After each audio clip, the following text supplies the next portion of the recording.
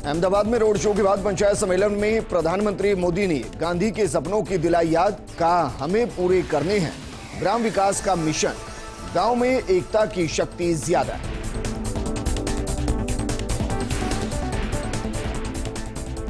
शपथ ग्रहण से पहले एक्शन में सीएम योगी आदित्यनाथ, लखनऊ में कैबिनेट की बैठक के बाद राज्यपाल आनंदीबेन पटेल को सौंपा इस्तीफा।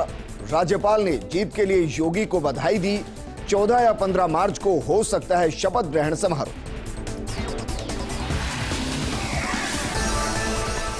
सोलह मार्च को पंजाब के मुख्यमंत्री शपथ लेंगे।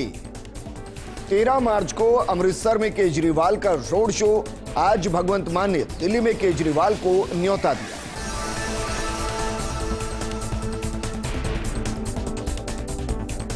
दिल्ली में एमसीडी चुनाव टाले जाने पर केजरीवाल का केंद्र पर आरोप। हार से डरी है बीजेपी। स्मृति ईरानी का सवाल, क्यों रोका नगर निगम का तेरह करोड़ का फंड?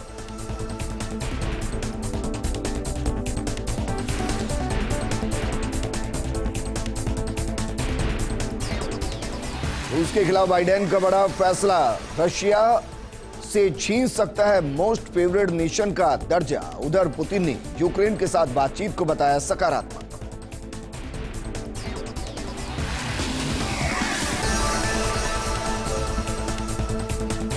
बजट घोषणाओं के लिए सरकार का आभार। सीएमआर पहुँची बड़ी संख्या में लोगों ने।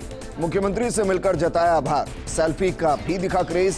गहलोत बोले, हम राजस्थान का करेंगे चहुमुखी विकास।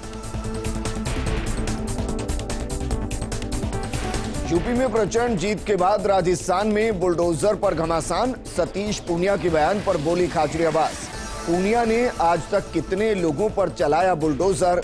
रामलाल शर्मा बोले 2023 में प्रचंड बहुमत से बनेगी सरकार।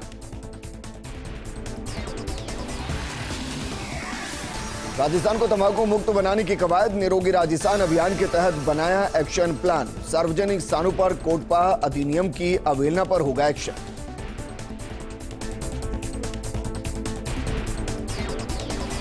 धौलपुर जिला अदालत का बड़ा फैसला, सात साल पुराने हत्या के मामले में आरोपी को सुनाई उम्र कैद की सजा।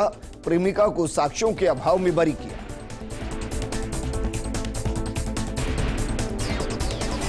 और लगातार पाँचवें साल भी फिसड्डी Jaipur airport airport council international के सर्वे में कोचीन पहले और अहमदाबाद दूसरे नंबर पर रहा। 2015 और 16 में जयपुर एयरपोर्ट था नंबर वन।